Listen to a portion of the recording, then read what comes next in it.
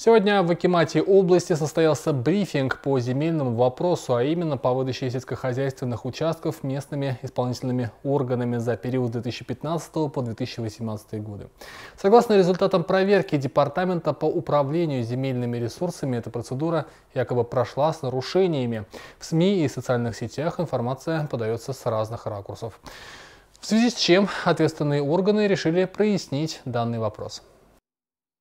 В 2022-2023 годах специалисты Департамента по управлению земельными ресурсами проводили проверку, чтобы выяснить, на законных ли основаниях местные исполнительные органы принимали решения по выдаче земель. По ее итогам, не согласившись с решениями акиматов Букиардинского, Жангалинского и Тоскалинского районов, они подали иски в суды.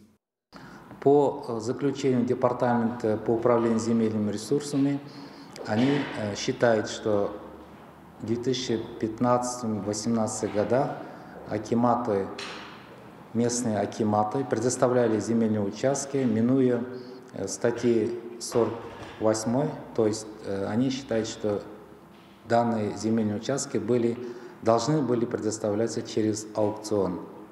Первая судебная инстанция и областная коллегия отказали в удовлетворении иска в связи с тем, что трехлетний срок исковой давности истек. Но в то же время в судах согласились с тем, что земли выдавались без конкурсных процедур. Представители Департамента по управлению земельными ресурсами области на этом не остановились и подали кассационную жалобу в Верховный суд. В результате решение местных судов было отменено. Они э, ссылаются на статью 48 Земельного кодекса, а также правил проведения аукциона э, от 31 марта 2015 э, года.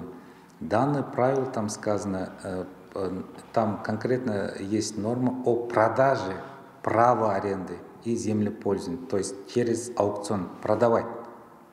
А решение акиматов о предоставлении долгосрочную аренду – безвозмездно. В редакции Земельного кодекса с 2015 по 2018 годы были две статьи. В 48 статье было сказано, что земельные участки могут быть предоставлены через аукцион. Также в 43 статье была указана норма, что прямое предоставление земли возможно согласно заключению земельной комиссии и землестроительного проекта. В ходе брифинга сообщили, что все акиматы, руководствуясь данной нормой, принимали решения по выдаче участков. Мы проводим встречи на разных уровнях, обсуждаем этот вопрос. Думаю, что эта проблема найдет свое положительное решение, и мы предоставим возможность фермерам дальше стабильно работать.